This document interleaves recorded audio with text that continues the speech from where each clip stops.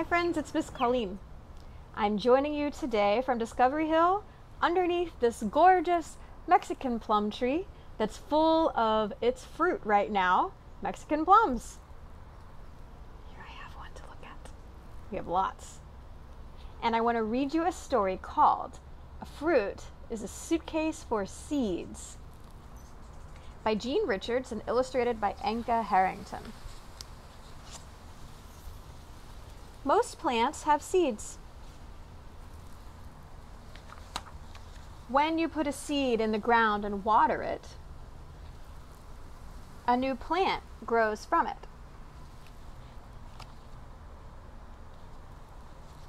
Seeds often travel to faraway places. If seeds did not travel, too many plants would grow in one place. It would be very crowded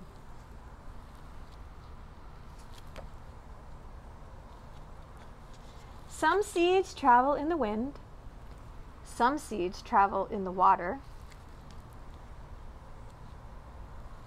Many seeds travel inside fruits.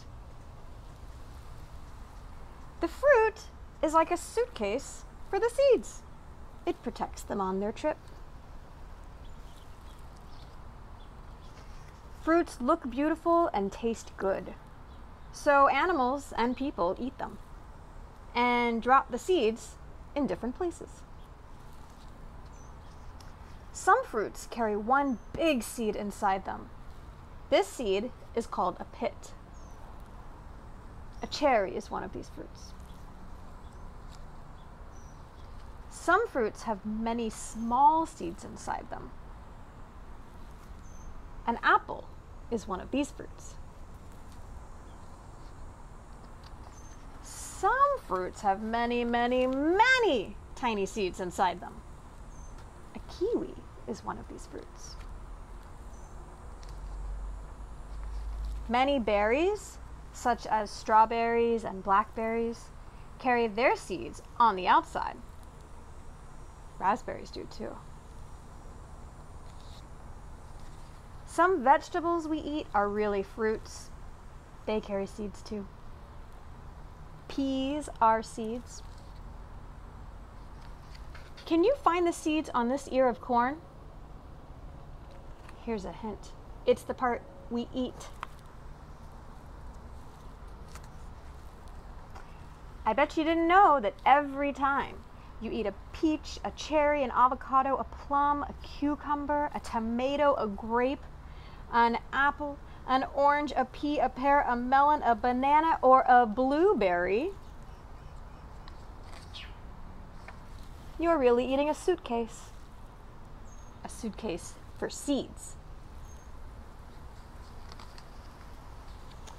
Now, I like that this book has some interesting questions and answers in the back because there are a lot of questions about seeds and fruits we eat. So, Here's a question somebody asked What's the difference between a fruit and a vegetable? Hmm.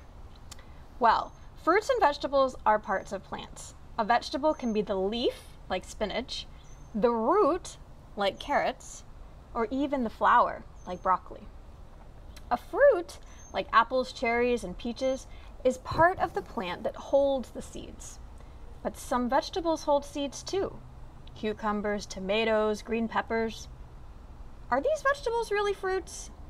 Hmm. There is no clear answer to this question. Maybe we should think of them as both. Another question Do all fruits come from flowers? You may know the answer to this.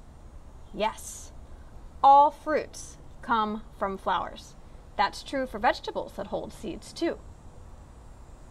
Here's an interesting question that a lot of children wonder, and I know uh, my own kids have asked me this question a lot.